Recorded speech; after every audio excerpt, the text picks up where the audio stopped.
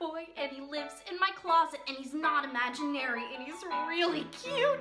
Darryl is a boy and he lives in my closet and I lured him there with cookies and some juicy fruit.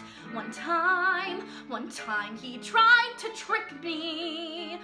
He asked me,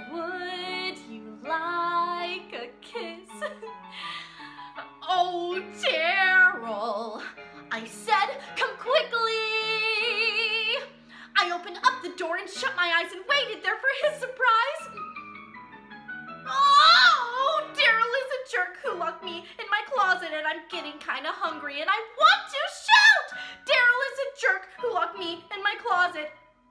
And so now I know he loves me and I'll hold him and I'll hug him and I'll kiss him and I'll snug him.